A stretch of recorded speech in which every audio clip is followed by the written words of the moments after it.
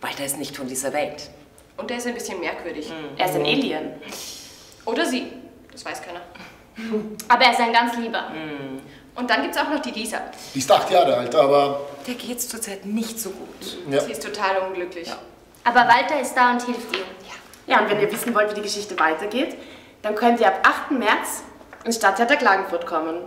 Zu unserem Stück Mein ziemlich seltsamer Freund Walter. Von Sibylle Berg für junge Menschen ab 8.